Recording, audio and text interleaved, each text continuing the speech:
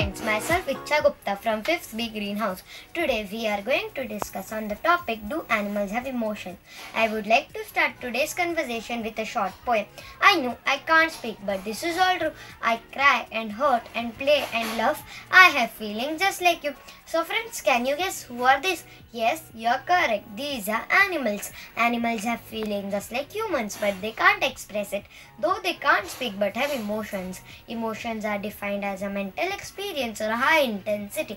It is said that the animal are more loyal as compared to humans. This fact can be understood by the theory of Charles Darwin, who says that the human are evolved from the monkey.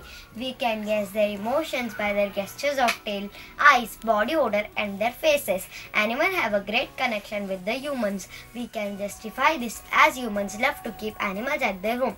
They keep dog, cat, and many more animals. These pet animals play with their owner. They love to lick them with their tongue. Even I do have a dog. His name is Stuffy. He don't need any words to talk to me. I love to play with him.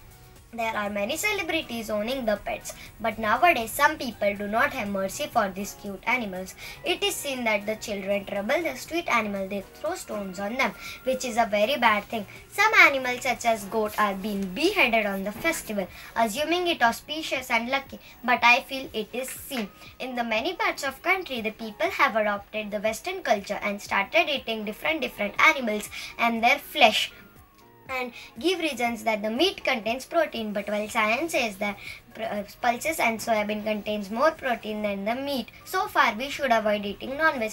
As if we get a small cut or a wound we cry a lot but we kill us animals uh, forgetting it. They have emotions. Few days back in my colony i saw a dog and kitten playing with each other. I was shocked that my dog was not harming that kitten.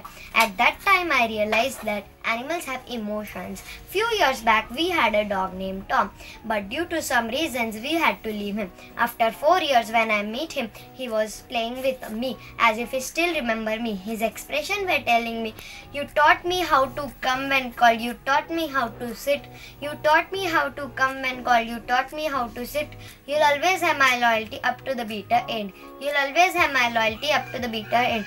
Cause after all it's plain to see you are my best friend. Thank you